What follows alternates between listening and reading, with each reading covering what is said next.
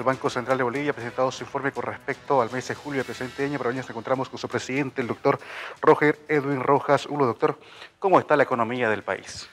Bueno, muchas gracias. Em, como he señalado en la presentación del informe de política monetaria que periódicamente efectúa el Banco Central, eh, mostramos que tenemos, eh, estamos viviendo un proceso desde activación, desde construcción de la economía boliviana, analizando eh, en la presentación y en el informe diferentes sectores, como es el ámbito externo, como es el ámbito financiero, ¿no es cierto?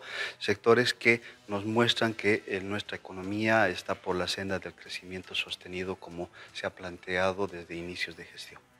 ¿Qué es lo que se puede destacar en este informe, doctor?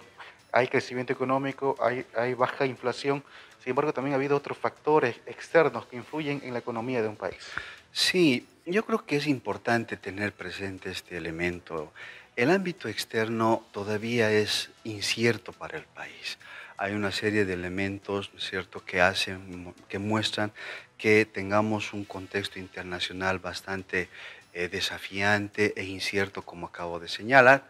Pero ante este, este comportamiento, nuestra economía está mostrando que tiene un muy buen desempeño, ¿cierto? Hemos alcanzado niveles de crecimiento en el primer trimestre bastante, bastante importante, con un matiz que creo eh, corrobora algo que hemos vivido en nuestro país en los últimos años, es con un nivel de estabilidad, cierto?, en el nivel de precios, que eh, permiten dar la confianza a, los bolivianos de que nuestra economía está en proceso de reconstrucción. ¿Y esto a qué se debe esta reconstrucción de la economía en el país, doctor?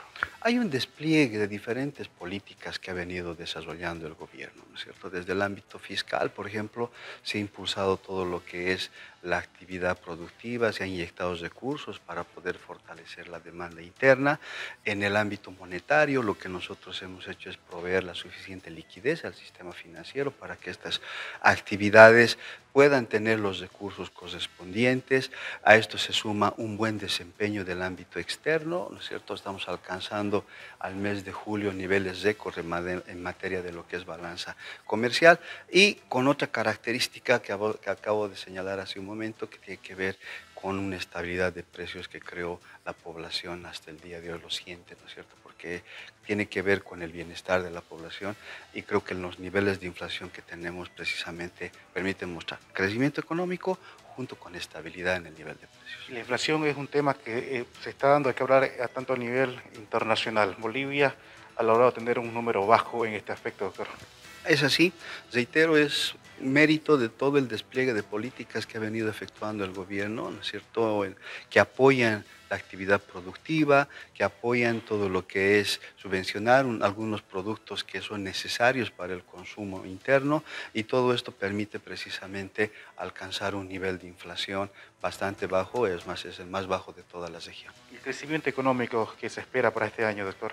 Bueno, nosotros eh, estamos haciendo todos los esfuerzos ese es el rol del Banco Central, dar las condiciones macroeconómicas para poder obtener el crecimiento previsto a principios de año, que está en torno al 5.1%, ¿no es cierto? Ahora, eh, hay que ver cómo va a ir reaccionando los sectores, estamos en la segunda parte del año y seguramente en algunos meses más ya tendremos alguna evidencia de lo que está ocurriendo, pero en lo que concierne al banco es básicamente dar las condiciones macroeconómicas y creo tiene la economía toda la liquidez, la estabilidad que precisa para poder alcanzar este nivel de crecimiento.